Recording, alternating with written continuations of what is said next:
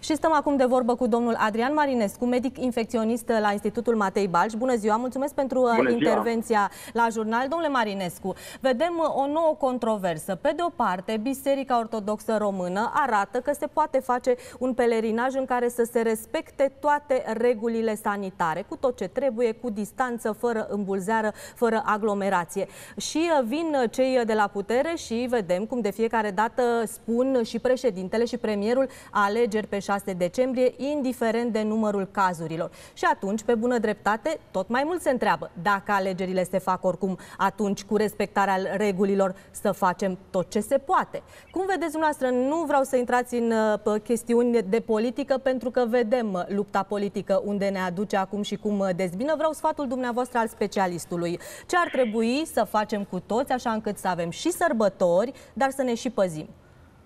Bine, în mod clar, eh, cred că abordarea trebuie să fie unitară. Eh, dacă vorbim de activități care presupun faptul că mai mulți oameni se întâlnesc, interacționează și că e un risc de transmitere, eh, cred că lucrul ăsta se întâmplă indiferent de tipul de activitate. Asta ar fi în primul rând. Înainte de a mă gândi la ce se întâmplă în decembrie, deocamdată încă suntem în octombrie, în sfârșit de octombrie și ar trebui să mă gândesc la ce putem face acum.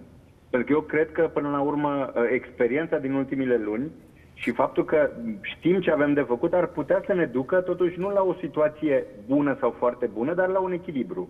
În momentul în care avem un echilibru și lucrurile pe care le putem face cu prudență ar putea să existe. Adică e foarte clar că mă gândesc ce pot face acum și cum pregătesc perioada din decembrie și pe urmă discut ce activități se pot face. Și unde este acest echilibru în care vedem cum guvernul uh, vine și tot anunță posibile măsuri de austeritate, de uh, aceste restricții, uh, dar în același timp vorbesc despre aceste alegeri, indiferent de numărul persoanelor infectate cu noul coronavirus. Unde este echilibru?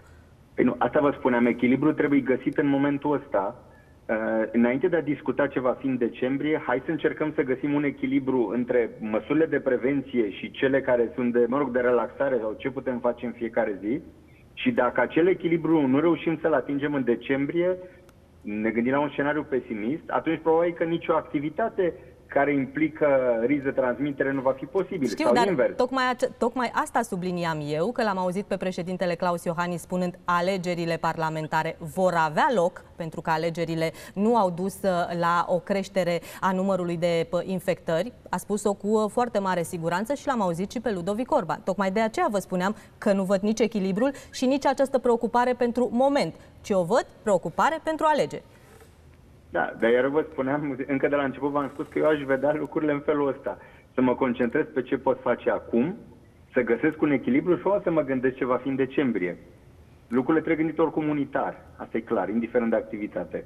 Foarte important uh, sfatul dumneavoastră acesta de a găsi acest echilibru și de a se concentra toată lumea pe momentul de acum, să luptăm și să facem cu toții ca acest număr al bolnavilor să scadă. Mulțumesc mult, domnule Marinescu.